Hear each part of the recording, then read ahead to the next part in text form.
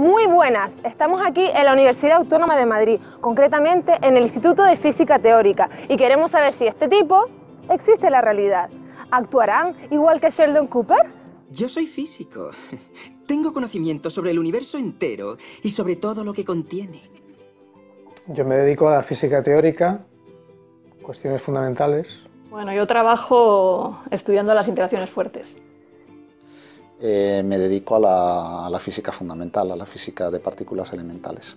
Conocer gente nueva sí podría matarnos. Me llevo bien con mucha gente, pero bueno, no soy terriblemente sociable.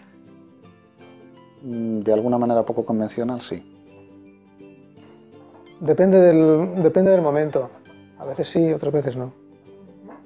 Sabes que soy un tío muy listo. ¿No crees que si me equivocase lo sabría? Muchas. Me equivoco todos los días. Claro. Muchísimas, todos los días. Habría que perder 60 puntos de cociente para ser solo listo. No, la verdad es que no.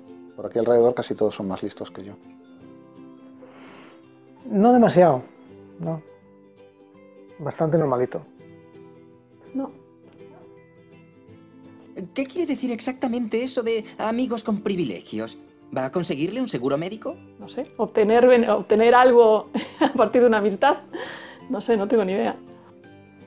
Eso no parece muy, muy, muy, cercano a la amistad, ¿no? Mm.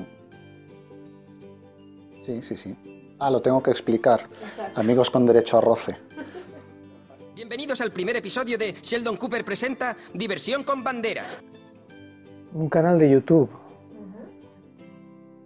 Desde luego lo haría sobre cosas de física. No tengo ni idea. No sé, podría hacer diversión con banderas a lo mejor.